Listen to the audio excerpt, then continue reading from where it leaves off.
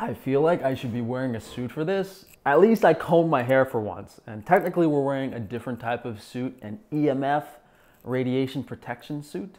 But uh, you guys have been buying a lot of the hackleback caviar that we have on Frankie's Free Range Meat, which is honestly very, very like cheap and low price compared to these. It's $35 an ounce. But I figured, you know, let's taste the caviars. Let's see which one is the best if we want to really carry it on Frankie's Range Meat because very minimum, these are gonna be like double to triple the price of that sturgeon caviar, ranging from like 120 to probably like 220, 250 dollars just for one ounce of caviar. And the thing about caviar is there's diminishing returns.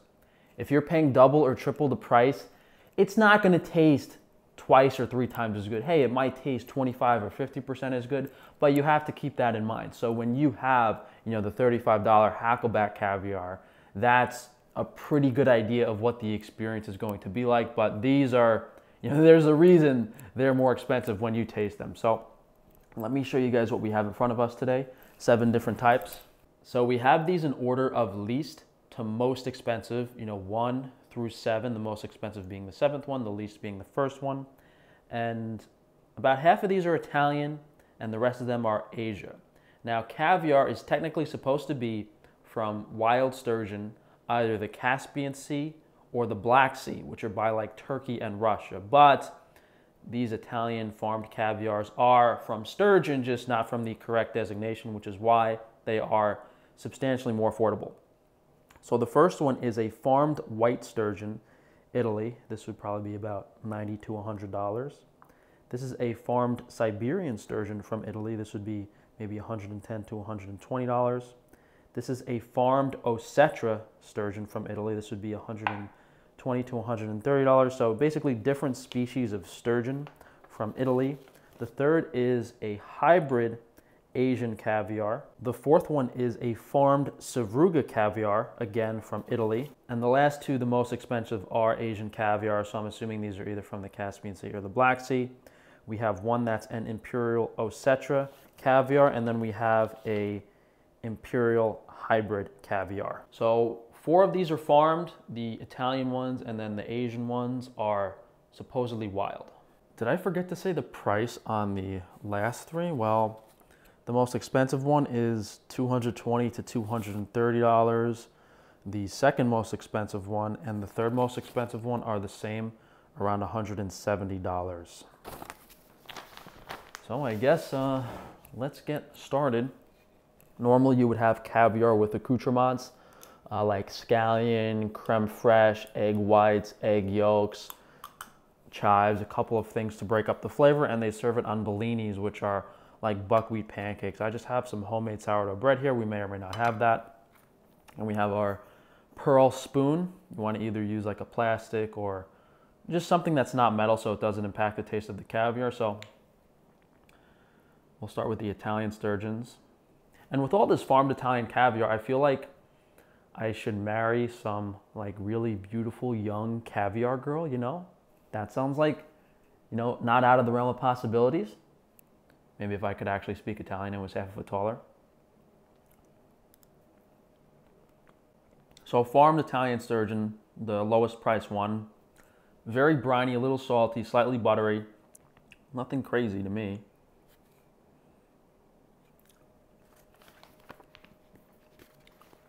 So the second one, which is still a farmed Italian sturgeon, very similar price point, but not as briny, a little more buttery. I like the flavor more. And those are black caviars now. This third one we're trying, which is still a farmed Italian one, has a more greenish color to it. That's because of the species of the sturgeon. Way, way, way different flavor. And that's the, um, that's the Osetra caviar, which is usually the more expensive breed of sturgeon.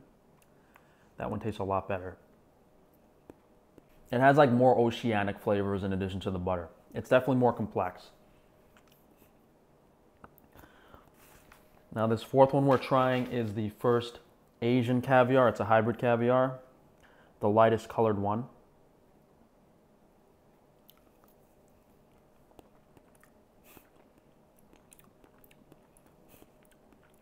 Way different. Way different flavor profile. Almost tastes bready.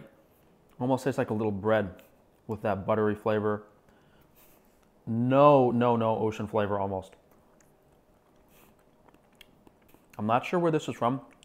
Might actually be a, a freshwater sturgeon. I like that one the most so far. And that would be around $140, so not, not too crazy for a special occasion. So now we're gonna have the farmed Italian caviar, the most expensive Italian caviar. And appearance wise, it's actually one of the smaller eggs, which, you know, isn't as desirable and it's still really expensive. By far the most buttery one so far. Very rich, pretty balanced too. So I, I like this one just as much as the, the fourth one, the Asian caviar. They're both very good, but pretty different flavor profiles. This, you know, much less of that oceanic flavor, almost tastes like bread and yeast. This one does have the ocean flavor, although it is a little more buttery. So now we have the Imperial Osetra Asian caviar, which is actually the same price as the uh, most expensive Italian caviar. Not as rich, not as buttery. Kind of plain, to be honest. I don't think this one's as good. I mean, this one is still like better than the, the lower price ones. Because these lower price caviars, they have that like ocean brine and salinity, which a little bit of that's okay, but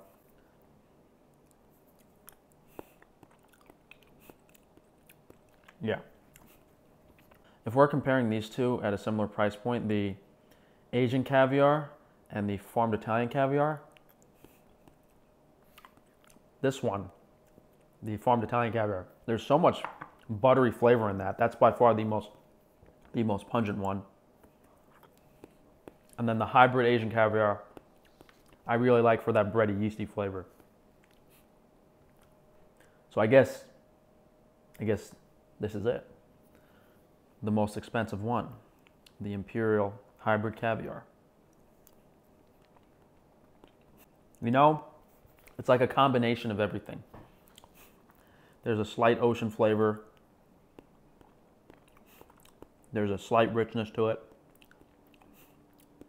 But I think if we're going to carry any of these caviars, so based off this tasting, and I'll go around again and try them again.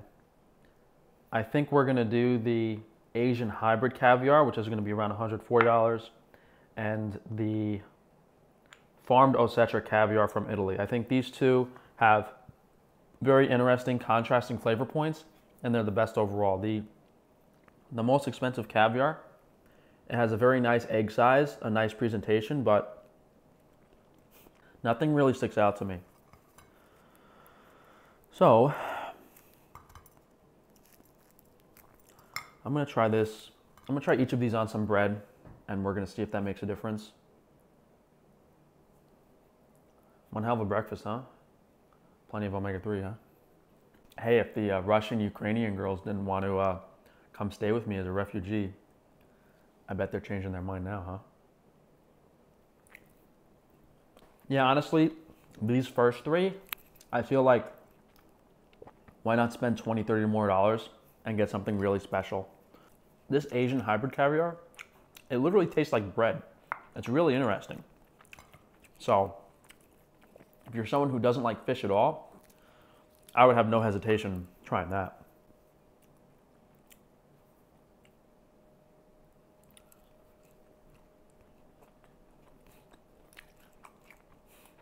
Yeah. This Italian farm caviar, the more expensive one, Sevruga caviar. Probably the most pungent flavor overall. A lot of brine, a lot of cholesterol, a lot of richness, but it is balanced. It is balanced. You know, this, the most expensive one is definitely not it. So we can put this one aside.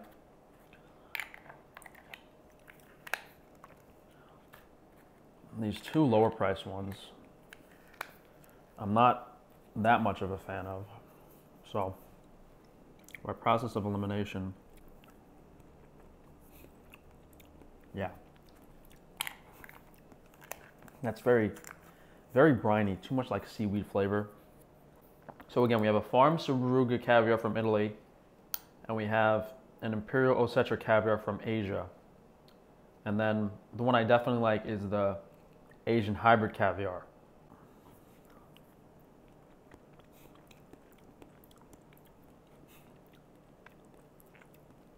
I feel like this one's really balanced.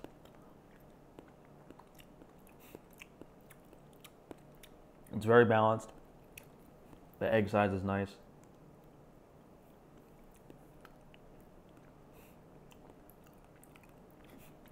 Honestly,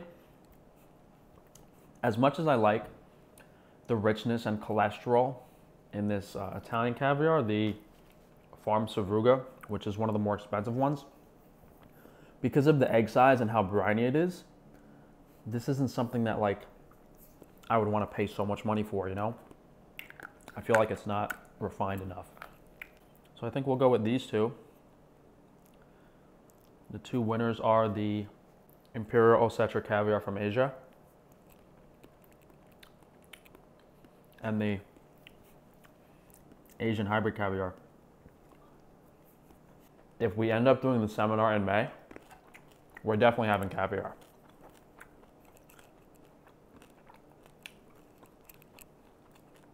You guys you get your money's worth.